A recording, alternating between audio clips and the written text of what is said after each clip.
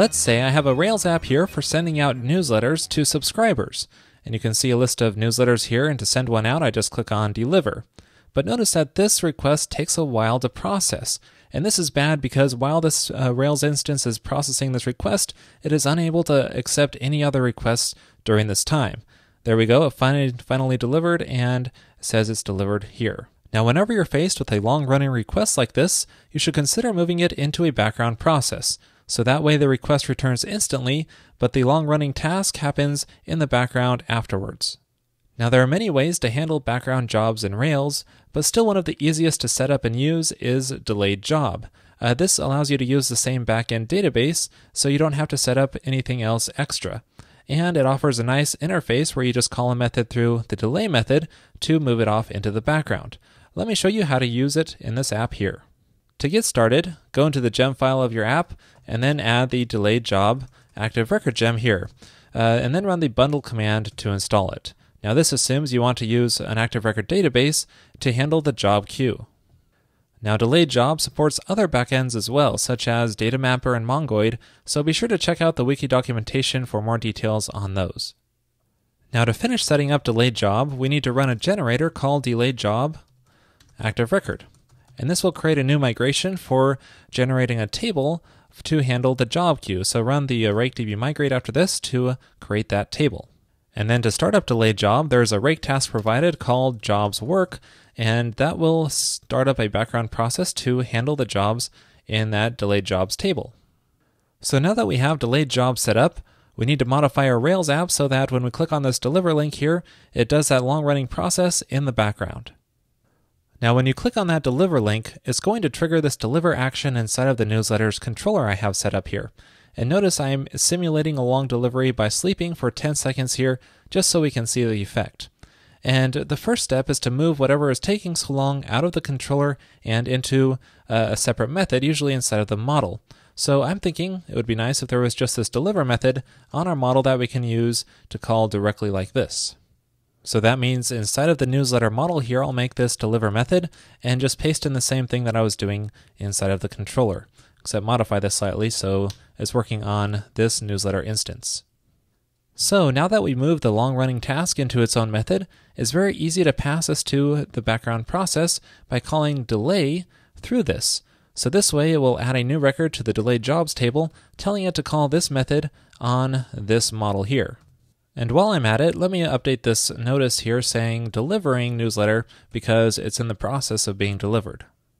Now we can try this out in our application by clicking on deliver here, and notice that we get the response back immediately saying delivered newsletter, but it doesn't say it has been delivered yet. So I'll just hit reload here. I'll probably need to hit reload a few times because it takes 10 seconds for it to process it. But there we go, the background process picked it up, and now it has been delivered.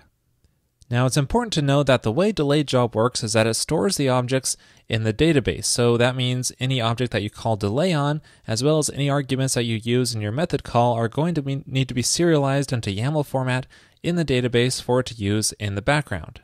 Generally, this isn't too much of an issue, but it's my preference to stick to simpler objects when working with delayed job. For example, instead of using a full newsletter instance here, we can just switch to using a newsletter class and then passing the newsletter ID parameter into it directly like this. So that way we're calling delay on the class instead of an instance and then just passing a simple object which is the ID into it. And then inside of the newsletter model, we can make that class method called deliver that accepts that ID, and we can find the record for that and then call deliver on it. That way it's doing the same thing that it did in the controller. It's not a whole lot of code to add, but it makes the uh, job queue quite a bit simpler. Now, delay job supports a number of neat options on this delay method. Here are a few of them. One is a queue option, which you can use to specify a named queue. So you can say maybe the newsletter queue, and that way you can have different workers working on different queues. Another option is the priority option, and it defaults to zero. So if you set a higher priority, it will be uh, processed first, or you can set a negative number to be a lower priority to be processed uh, later. And you can also have a run at option to specify when you want this job to run at some point in the future. So for example, you can say five minutes from now, and that way it won't run until that run at time. Now, delayed job also supports many different ways for adding jobs to the queue. The delay method that I've shown you so far is my preferred approach and should work great for most situations. Uh, here are some other alternatives though. One is to call handle asynchronously in a class and pass it the name of a method, and then every time that method is called, it will uh, use delayed job on that method. Another approach is called a custom job, and that is where you create your own custom class for the job with a perform method, and then you can add that manually to the job by calling enqueue with it. Now, this uh, gives you a little bit more control, but usually isn't necessary. Now, delayed job also has support for failure.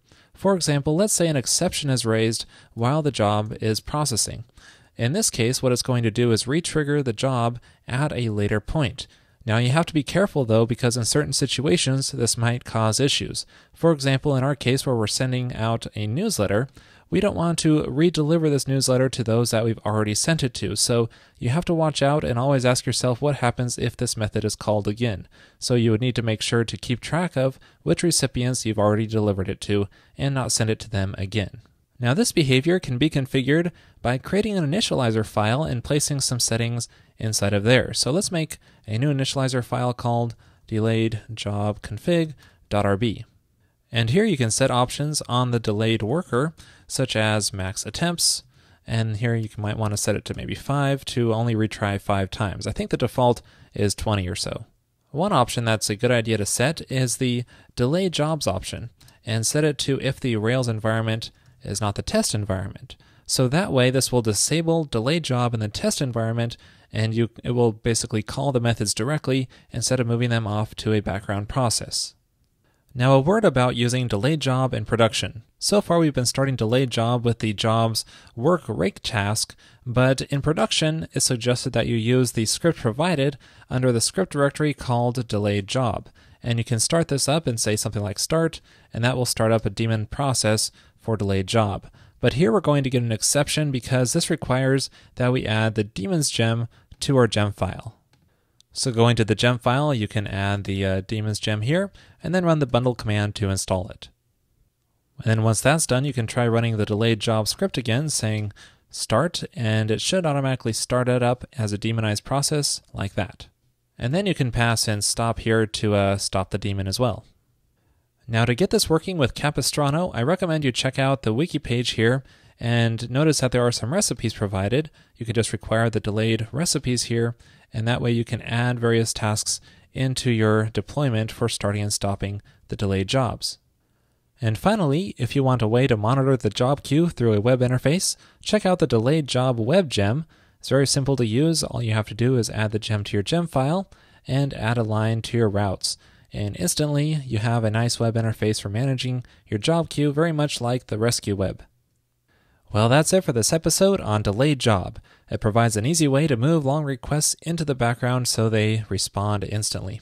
Now, Delayed Job isn't a perfect fit for every situation, so be certain to also check out the other options available, such as Resque and Beanstalk and more. Uh, I've done episodes on those in the past as well.